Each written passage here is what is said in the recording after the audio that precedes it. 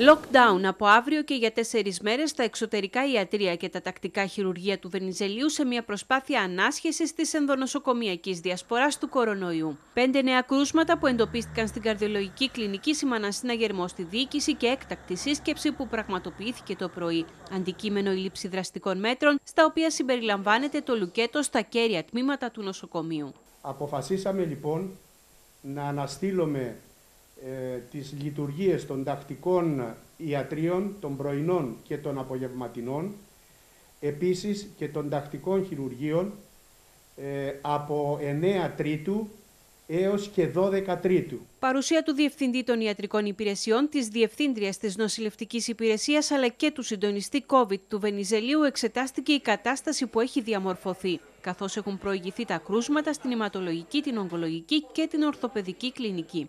Στο σημείο αυτό φτάσαμε για να περιορίσουμε την επέκταση μέσα στο νοσοκομείο των κρουσμάτων του κορονοϊού.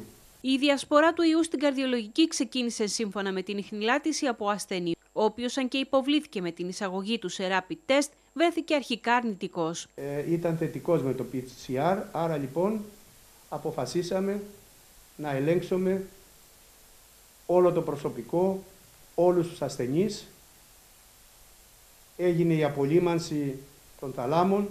Όταν παρουσίασε συμπτώματα έγιναν τεστ και διενεργήθηκε έλεγχος από τον οποίο αποδείχτηκε ότι ο ιός είχε ήδη μεταδοθεί σε άλλους τέσσερις ασθενείς αλλά και μία νοσηλεύτρια. Έχουν ε, εισαχθεί στην ε, τρίτη ε, κλινική COVID όπου και νοσηλεύονται.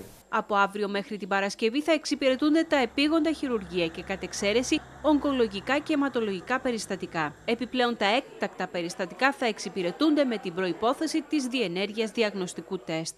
Εξαιρούνται τα επίγοντα περιστατικά τα αιματολογικά και τα ογκολογικά. Όσο αφορά στις νοσηλίες ασθενών με COVID-19, η μεθ COVID του νοσοκομείου είναι πλήρης καθώς έχουν καλυφθεί και οι 7 κλίνες, ενώ από τα 45 κρεβάτια στις κλινικές COVID και να είναι μόνο τα 9.